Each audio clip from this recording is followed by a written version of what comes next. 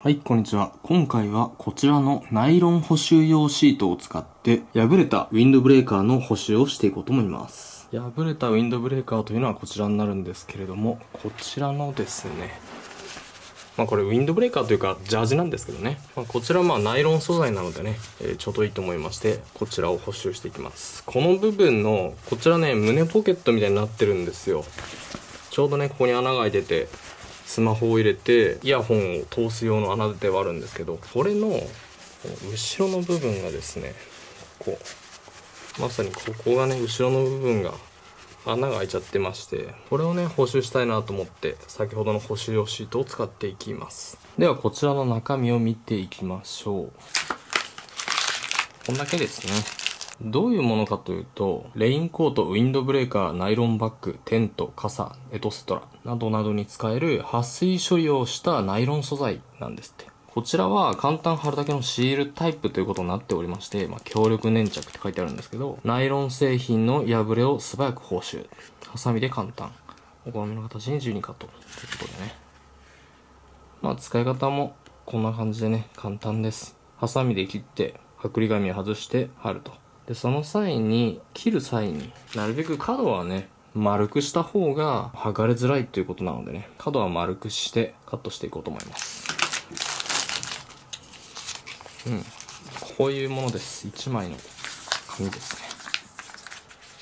先ほどの破れた部分はですね、まあ、これぐらいあれば足りると思うので、切っていきます。ちょっとね、大きめに切っていきます。で、ここのね、角が、四つ角が、このままピンってね、時々になってると、めくれやすいらしいんですよ。なので、四つ角はちょっとね、丸くしときます。ハサミで。なんとなくですけどね。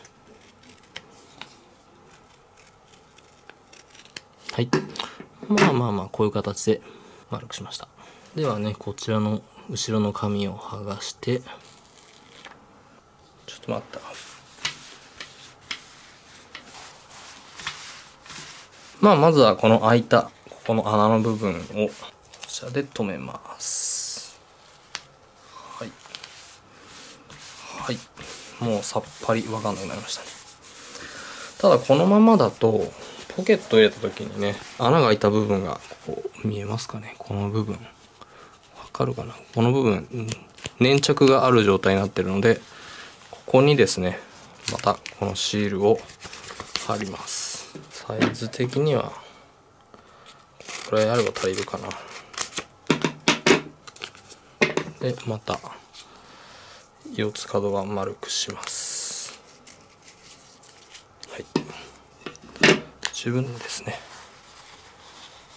うんで、剥離紙を剥がして、こちらを貼ります。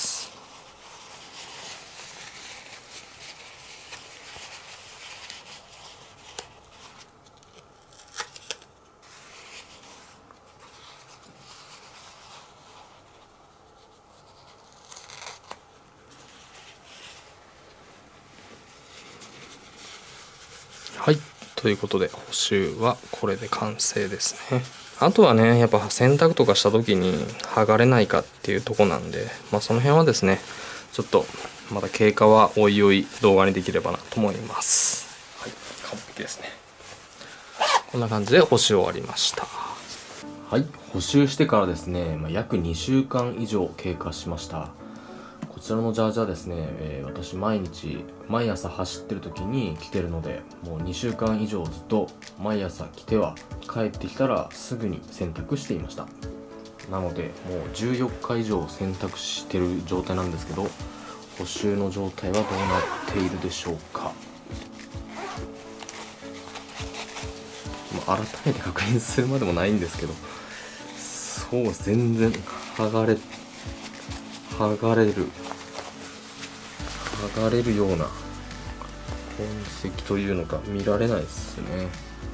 んちょっとだけここがなんかこういうすり傷みたいになってるけど全然剥がれるような感じはないです。内側も全然剥がれるような感じはないです。素晴らしい。素晴らしいです。うん。購入したですね補修素材のリンクはこの動画の下の概要欄に貼っておきますので気になる方はチェックしてみてください。それでは最後までご視聴いただきありがとうございました。また次の動画でお会いしましょう。